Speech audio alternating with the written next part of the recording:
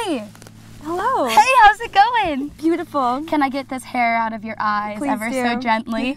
All right, so this is our friend that we just made here at Meditation Mount. What is your name? Jebrahn, Jebrahn. What does that mean? um, named after a Lebanese poet, Khalil Gibran. Oh, no way! Yeah. Beautiful, the prophet. Yeah, Nice. my parents Oh, did that. cool. Mhm. Yeah, those are good parents. Those are really good parents.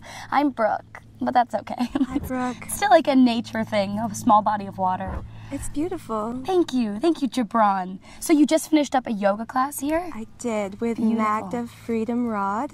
Magda Frida Mag Magda Freedom Rod. Wow, that's beautiful. You guys all have pretty rad names. That's awesome. Welcome to Oz. So are you from Ojai or did you grow up here? What's your story? I am not from Ojai. I've lived here for um, almost a year now, since last Thanksgiving.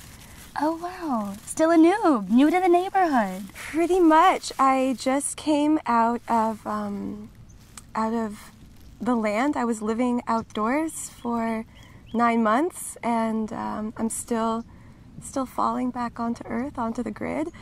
And um, Bummer. yeah, Ah, the grid will always suck you back. We're learning a lot about the mystical aspects of the Chumash tribe and uh, just about the spiritual properties that exist here naturally that everyone seems to be drawn towards here. What's that like for you, or what's what's your feeling about Ojai? What what was your propeller to come here? ooh, I had lost everything, and was left with this big holy hole in my being, and I dove into it, and it took care of me. Um, so I, I didn't even know that Ojai existed a year ago, and Here you are. It is a pretty magical place. I definitely feel it. We were talking about how we saw bumblebees and hummingbirds and other little critters and berries that maybe I can't eat, but I was wondering if those were holly. I don't they- know if I can they the eat them. ones? I said that my childhood experience uh, steers me away from eating those berries.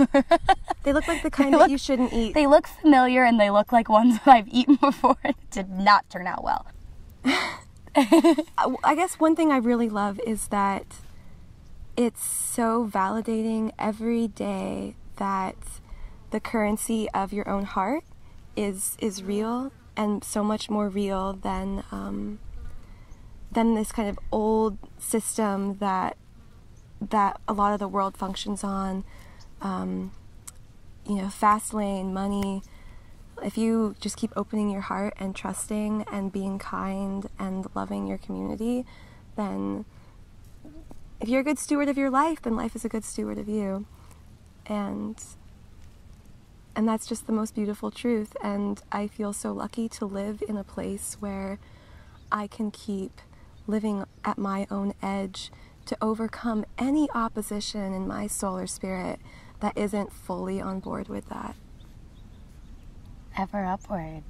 Ever upward. That was so nice. I, I'm like, how did we stumble into meeting you? But of course, that's how we stumbled into meeting you because like somehow attracts like, right?